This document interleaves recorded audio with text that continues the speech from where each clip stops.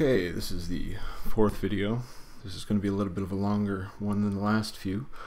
And in this one I'm going to talk about a tweet that's become associated with my name uh, for a number of years now. Um, and this is something that occurred in the days following the shooting of um, Mr. Don Dunphy. So you might not know the full story of, of what happened to Don. I, I don't need to go into all the details, but I was among the first to point out that Mr. Dunphy's tweet had no threat in it. That when you read it in its full context, there was there was just no threat um, that would have required police intervention. So as I was doing this, uh, two RNC officers flagged me to every RNC officer and civilian associate and the Premier's security detail for my political views. Uh, I went on to be detained the next day for a tweet, which which will come up later. Um, but I was not provided with the opportunity to speak with a lawyer or a rights advisor. Uh, I was certified in the space of five minutes after two quick interviews. One lasted 30 seconds and the other about five minutes. I asked for a second opinion the next day, and two other doctors reviewed the matter and signed me out six days later. And they called the thing, the whole thing was just a political abuse of psychiatry. So the entire matter at the hospital was ruled unlawful in 2018. Uh, since then, the RNC have been investigating themselves, uh, including the officers that were involved. The main charges that they were examining would have uh, surrounded allegations of uh, perjury and falsification of evidence that came up during the Dunphy inquiry. Um, there were multiple instances of conflict where the RNC and the Justice Department had placed themselves in a position of conflict and were refusing to recuse themselves. And the final, final ruling on the officer facing charges of perjury came down just days before the election, with no charges, everything, just just no explanation given. So, since no evidence has been offered as to why it isn't perjury, this is only one of the officers. They didn't say anything about the other one. So, uh, why it isn't perjury? And there's witness statements who are contradicting what the officer said sworn on, on public record on a freely accessible video, why is there no charges? So the only conclusion I can draw is that uh, our Attorney General, Andrew Parsons, is, is mucking about with the judicial system. And the allegation Joe Smyth has made against him does hold some, some weight and some merit. So, to provide some further context to the tweet before I get into all the details, um, I mentioned that like my political views were targeted. So going back to July of 2014, this is what they were talking about. Uh, I filed charges against Stephen Harper and John Baird for what I saw was a hate video that they'd created. Um, not many people have actually seen this video even today. It's still up on YouTube, but I think it's only got 70,000 views as of now. So, I mean, like, there's a lot of people in Canada haven't seen it. Uh, and it, it was aimed at an Israeli leadership. It wasn't aimed at a Canadian audience. Um, so, so, anyways, I started a petition, and I tried to file charges. I went to the RNC and I explained, you know, I saw this as propagating hate, and it was something that should be condemned. And um, they passed it on to the RCMP. While this was going on, uh, the Israeli assault on Gaza began. Um, actually simultaneous with that, uh, a plane was downed over Ukraine. So while the world's attention was like looking at Ukraine and this downed plane and this, this pending war that was going on there, Israel was assaulting Gaza, and it was almost like they were trying to use, uh, just make use of the fact that everybody was distracted. So in in this video, we've got a, a prime minister of Canada who's advising the Israelis to confront the dark forces. And now this is a white man saying this to a mostly white audience, you know, confront the dark forces. And in his original speech that this is taken from, it's aimed at Iran, but now he's repurposed it to be aimed at Palestine. Uh, and if you look at other parts of that original speech and what made it into this propaganda video and the slices of it, I mean, it's, it's a really sophisticated form of hate speech. He's saying the other hates you you know the other hates you. They hate everything you stand for. So obviously it's not it's not like i'm telling you to hate somebody but i'm saying they hate you. They hate everything about you. So it becomes a form of hate speech, even though it's not a traditional form of hate speech. It's still a form of hate speech, and then he even throws in the idea that going along to get along is weak and wrong, which is pretty much the opposite of what the golden rule would be telling you in these situations. You know, so to have somebody go there and to make this kind of video with the footage from that that speech, it's it's it's it's really concerning. I flagged it. On on top of that, right now Israel is currently facing an ICC investigation for that that entire event and things that have happened since because the settlement rate did escalate following following 2014. Um, the investigations and a lot of the work the prosecutors were doing was suspended due to sanctions imposed by Trump because he didn't want Israel investigated and he didn't want them to investigate what uh, U.S. soldiers may or may not have done in Iran, uh, Iran in uh, Afghanistan. But if what happened in Israel and Gaza is a war crime, so what about the politicians who incited that level of violence, who who went there and earlier in that year and advised them to abandon the peace process and seize the land that they needed. And then it escalated into this. Like, what about the politicians who actually incited that behavior? For like, forget about Trump inciting the Capitol riot. What about people inciting acts of genocide? Like, why don't we call that out too? We can't. We can't say we're going to condemn Trump and not also condemn the people in our own country who've done it in the past as well. Because Canada ultimately, like when you talk about the International Criminal Court, Israel isn't party to the International Criminal Court. They never signed the Rome Statute that actually gives the court jurisdiction over their country. The United States isn't part of the International Criminal Court. Same idea. They never gave them jurisdiction. They never. Canada, though, Canada fully is. Palestine is questionable because they are considered a sovereign state by the UN, but they're not. You know, some nations don't recognize this. But Canada the nation that incited this violence is fully ratified. We're fully part of that. So you've got Canadian politicians who incited the violence. They produced a hate propaganda video with public funds. And the unrest that surrounds the treatment of the Palestinians actually incites a whole new generation of radicalized Muslims. And then you're seeing the rise in ISIS and all everything that came with that. So when I talk about my political views, I see like a lack of respect for the human rights of the Palestinians was a major moral failing of, of just Canadians at large and the Canadian government. Like we just we just we dropped the ball there. So eventually the charges were dismissed by the RCMP. I think it took about two weeks, and uh, I filed a public complaint alleging failure to properly investigate the matter. Uh, the public complaints compartment was uh, was closed before the complaint was completed, and it became a private complaints department, so I could no longer have a public hearing of the matter. And the final report on the complaint indicated that the charges that I'd filed were viewed as a threat to national security, and they went through. Uh, anyways, they went through a national security vetting process, threat vetting process. So while this is going on, I continued campaigning to get recognition of the matter. The petition still exists. It's seven years running. I still periodically update it, although it's not as thorough as it should be anymore.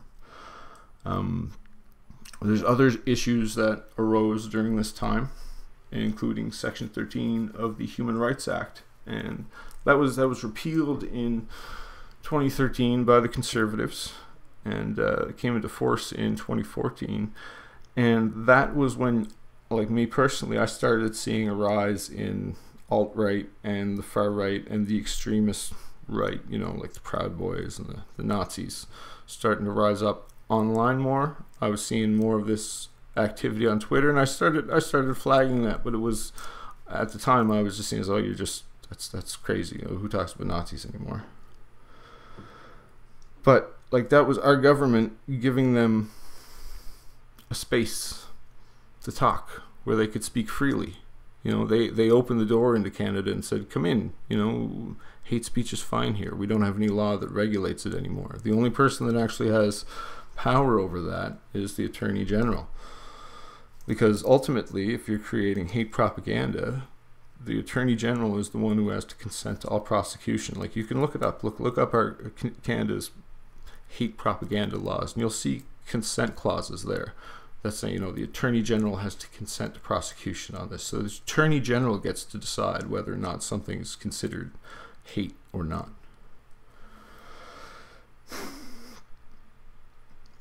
So I realized this could create a conflict.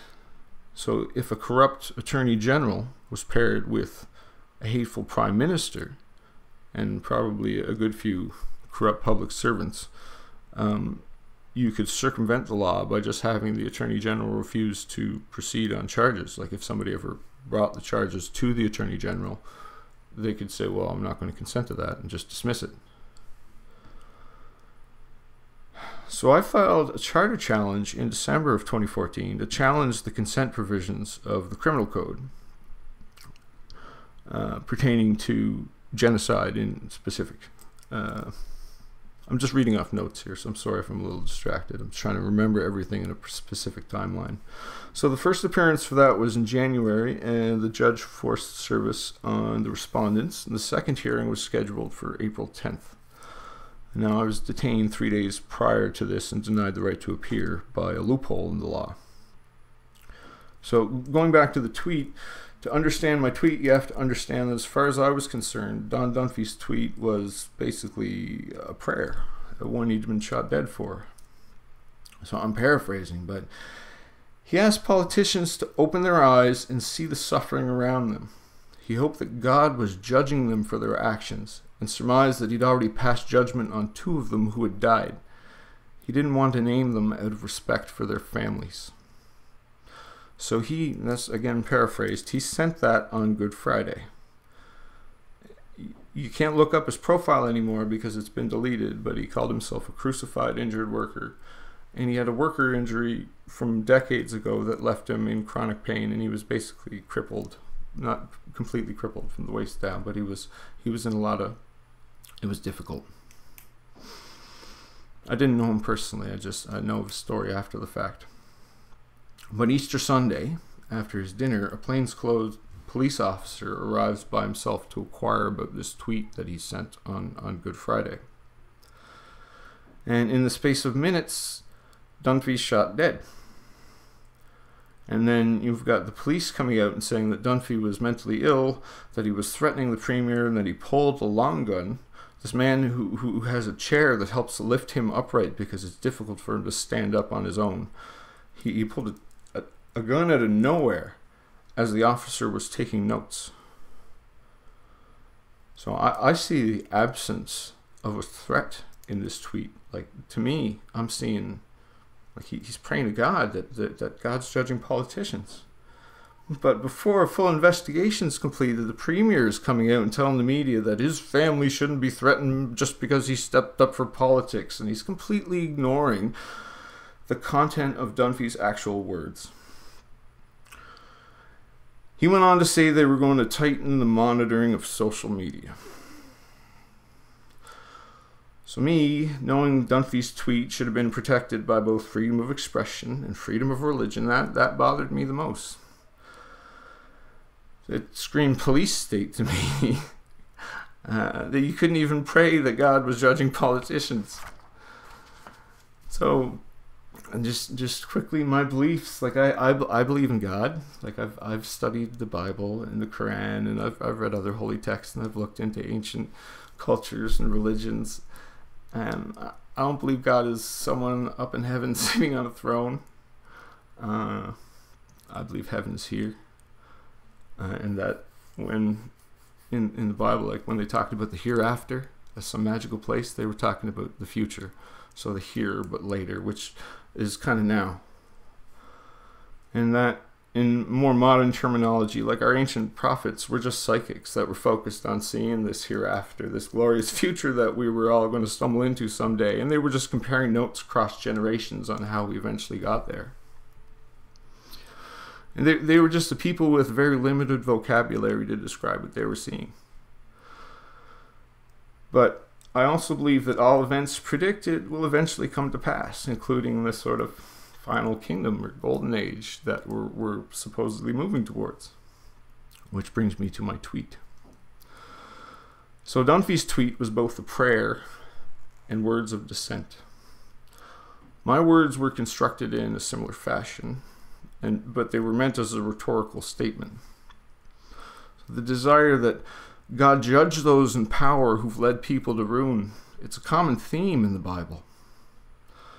Most important is a few end time figures who are to be judged before the final kingdom, and there's two specific ones whose actions corrupt the world.